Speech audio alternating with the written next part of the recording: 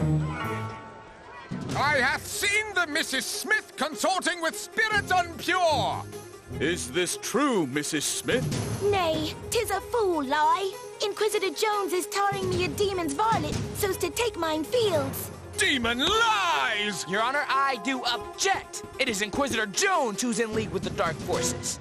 Kid, come on. This is my spotlight. Behold!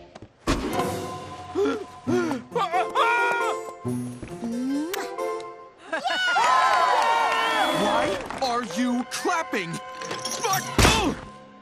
These children are demon spawn, and they want your teeth! Look! Look at his ears! He's from Mars! Hey, lay off the costume, man. Ah!